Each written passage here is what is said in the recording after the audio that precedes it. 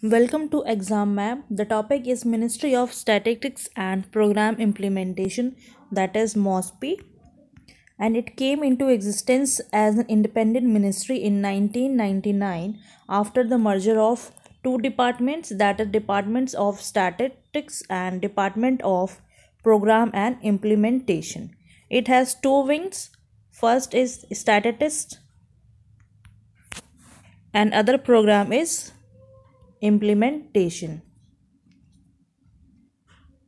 The statistics wings called NSO that is National Statistical Office consist of CSO Central Statistical Office Computer Center and NSSO National Sample Survey Office and program implementation wing has three division that is 20 point program infrastructure monitoring and project monitoring and member of parliament local area development scheme that is MPLADS.